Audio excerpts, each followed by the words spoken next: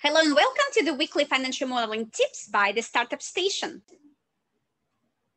Today we're going to talk about the pitfalls of top-down financial modeling approach for early stage startups.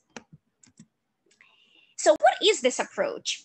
Let's first discuss that, I guess, before we're going to talk about why this approach isn't good.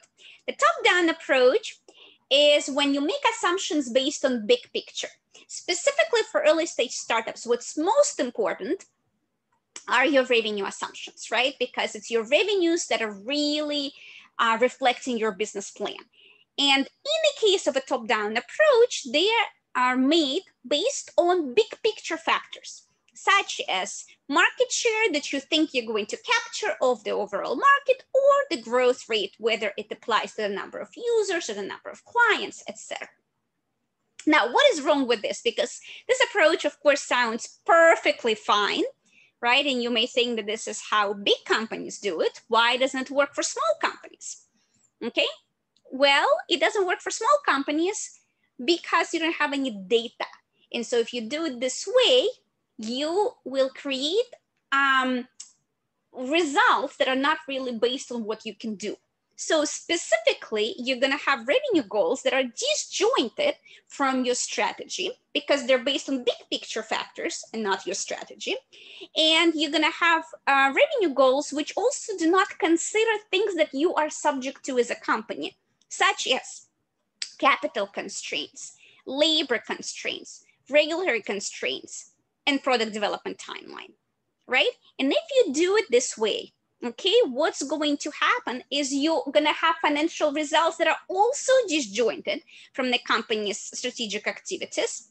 And on top of that, you're going to have a financial model that you can't really use to track whether or not your strategy is working, right? That you can't really use to respond to market feedback in a timely manner.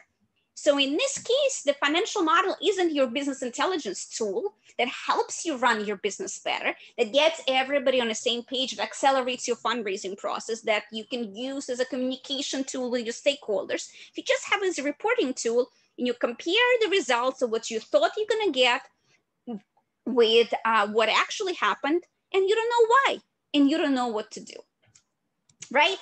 And so as a result, your uh, financial plan will be not robust because you don't know from this financial plan if your revenue goals are feasible and if you have enough capital to achieve them. The way that you build those goals based on big picture things, okay, it's not related to your actual situation. And from the investor's perspective, right, these financials are not credible. They look great, but can you really do it? And so what they actually do is they adversely affect your own credibility and with these financials, you can't really defend your valuation. And this weakens your negotiating position with investors.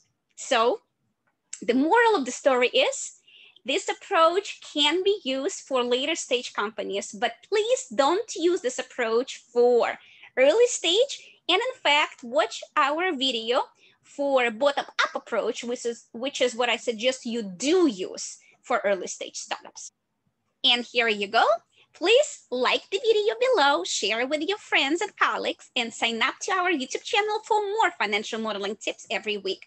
If you want to learn how to model your venture in a credible way, please sign up for our masterclass, Build Credible Financials for Your Venture. The link is in the description. Thank you, and I will see you next week.